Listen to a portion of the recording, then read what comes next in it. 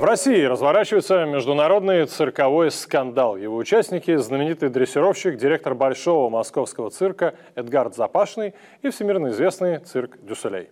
Все началось на заседании Совета по культуре и искусству при президенте России. Запашный выступил против строительства постоянной площадки для канадского цирка в Москве. И Владимир Путин это мнение поддержал. Риев анонсировал, что в 2019 году в Сколково а, будет открыта стационарная площадка канадского цирка. Я считаю, что это неприемлемо, я считаю, что это неправильно. Никто не мешает им приезжать сюда с временными гастролями, они уже больше 10 лет сюда, э, сюда ездят, но это точно негативно скажется и не только на российский цирк, но и на российский спорт в том числе. Я могу вам передать э, письма и подписанные от Авербуха, который прекрасно осознает эту проблему. Мы знаем, что на постоянной основе кадры, как спортивные, так и наши э, культуры, переманиваются в этот, в этот цирк, а при строительстве стационара, такой базы, они еще и школу здесь свою откроют. При всем при этом я даже примерно не, не помню, чтобы хоть раз был создан прецедент, например, по открытию чего-то русского, например, в том же Монреале, Большого московского цирка или Большого театра, э, филиала э, музея Эрмитаж, нас туда не пустят. Скажут, приехали, отработали, спасибо домой. А мы здесь, во времена, когда Канада очень активно вводит про нас, против нас санкции, мы вдруг почему-то становимся гостеприимными.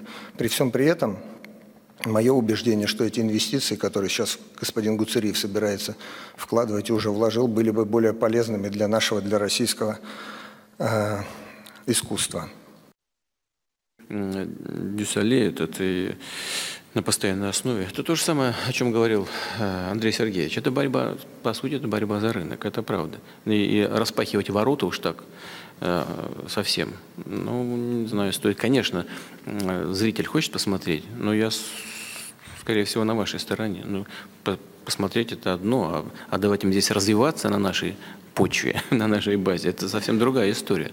Это я вот, моя позиция очень близка к вашей, с этим отдельно поразбираемся. В цирк Дюсселей в ответ на обвинение Запашного заявили, что площадка в Сколково не станет стационарным театром, ее будут арендовать. Цирк дю Солей, напомню, основан в 1984 году. Сегодня компания насчитывает более 4000 человек. Они работают в разных труппах, которые дают представления в нескольких точках мира одновременно.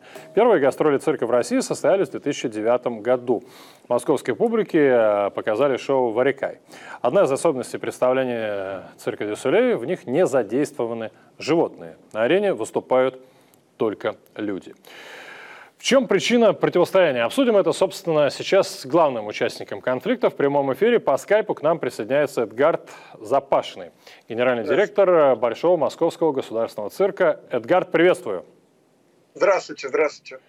Эдгард, ну вот сейчас мы слышали, как э, Путин э, вас поддержал. Ну что, значит, все отлично, проблема решена, никакого дюсулей цирка не будет. Вы довольны и счастливы? Нет, я э, не хочу сейчас акцентировать внимание на этом, дабы я безумно благодарен нашему президенту за то, что он меня поддержал и понял проблематику происходящего, но меня удивляет э, то, о чем вы сейчас говорили, что э, мы не будем постоянными, мы будем в аренду. Скажите, пожалуйста, а у нас Макдональдс на каких условиях в стране существует? У него собственные здания или они арендуют площадки по всей нашей стране? Вот вам и ответ, что вот это вот э, циничное э, подменивание фактов, как это принято за рубежом, уже перекидывается на русскоговорящих людей, которые представляют эти компании. Цирк дю Солей уже на протяжении 25 лет арендует площадки в Лас-Вегасе, стационарно стоит, полностью вы, э, вытеснив практически э, американских конкурентов, э, американских коллег э, цирк. В Лас-Вегасе он просто-напросто не представлен, хотя традиции американского цирка а, в разы превышают по времени, нежели канадского. Но этот цирк гегемон, он миллиардер, он умеет красиво заходить, он правильно упакован. А, и меня, конечно, поражает, что они вот занимаются подменой, подменой понятий. Эдгард, а одна из претензий, э, насколько я понимаю, вот защитников животных, например, в России, она заключается к вам именно. Она заключается в том, что там, Запашный выступает против а, цирка дю Солей, потому что цирк дю Солей не использует животных, а Запашный известный дрессировщик, который работает традиционно с животными. И дальше, вот вне зависимости, я пока, стороне, а пока оставляю в стороне дискурс о том, а, там, правильно обращайтесь с животными, неправильно, там, нормально это, ненормально, но в любом случае это наступление да, другого, э, вашего конкурента. То есть это вопрос Нет, конкуренции я Сейчас... Вы выступаете все-таки в каком качестве здесь? Как участник рынка или как патриот? Я сейчас э, высказываю свою позицию прежде всего как гражданин страны. И э, моя реакция будет точно такой же, если э, кому-то взбредет в голову стадион Лужники передать э, футбольному клубу Реал Мадрид, э, потому что мы должны создавать э, конкуренцию. Я точно так же буду реагировать, если кому-то придет в голову открыть здесь филиал э, Лувра или театра Ласкала. Все то же самое будет э, мною сказано. И поэтому я считаю, что мы создаем плохой прецедент. Но я поспешу сейчас расстроить и, может быть, даже разочаровать а, поклонников цирка Дюсалей, которые считают, что в конфликте изначально заложено а, присутствие животных и кардинально другие позиции. У одного из владельцев цирка дю Солей собственное конное шоу на территории Канады, которое пользуется безумной популярностью. Поэтому это абсолютно никак не связанные, э, никак не связанные вещи, и этот конфликт очень часто искусственно надуман. Э, слава богу, цирк дю Солей никогда не был замечен в том, чтобы э, принимал позицию, что цирк должен быть исключительно без, без животных, и что они вообще считают это, это неправильно. Там здравомыслящие люди у руководства, которые нормально относятся к понятию человека и животного, и имеют даже собственные собственные конные шоу. А вот радикальные люди, которые как раз э, ну, по-другому свою жизнь не видят, пользуются э, ну, незнанием информации и пытаются конфликт ну, перевести вот именно в это русло. Поэтому это ну, не соответствует действительности. Эдгард, насколько я понимаю, сейчас, тем не менее, в не знаю, конфликт, скандал, в ситуацию э, со строительством, возможным строительством площадки Цирк дю Солей э, вмешались уже некоторые российские э, известные бизнесмены. Э, на ваш взгляд, э, с чем это связано? Это просто связано с тем, что решение уже на самом деле принято. Э, помимо вашей гражданской позиции, что здесь еще есть? Э, все-таки, ну, предположим, а, будет сказано нет, там, что бы ни сказал Путин, мы будем строить эту площадку. Что вы тогда будете делать? Ну, подождите, а, если Путин, если Путин сказал нет, это не значит, что а, частный инвестор в ружье исполнение. Это уже дело каждого. Послушать президента или не послушать. Мы живем в свободной стране, и сегодня Песков прокомментировал, сказал, что мы не имеем права вмешиваться в чужой бизнес. Я выразил свое мнение как государственный чиновник, как гражданин своей страны, как артист, в конце концов, а президент меня поддержал. Господин Гуцериев или любой другой бизнесмен, они являются частными предпринимателями, и закон никак не ограничивает их вкладывать деньги туда, куда они хотят. Поэтому если этот проект состоится – меня это просто как гражданина будет очень сильно расстраивать.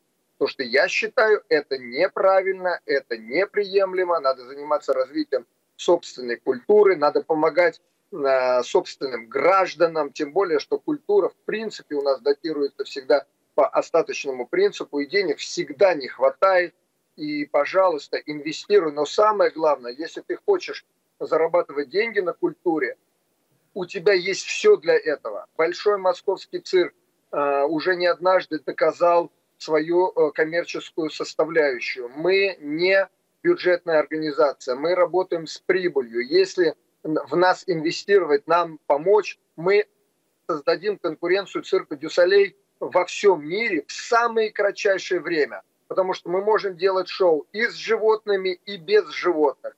И наша э, гастрольная деятельность проходит во многих странах. А, в позапрошлом году а, мы собрали 20 тысяч зрителей в Финляндии, 25 а, тысяч зрителей в Латвии. 15 тысяч в Эстонии, 40 тысяч зрителей в Дубаях. И это ли не бизнес? Просто надо помочь чуть-чуть раскрутиться, надо не стесняться вывозить русский продукт за рубеж, помогать, э, инвестировать, и все будет хорошо. Хочешь зарабатывать на культуре?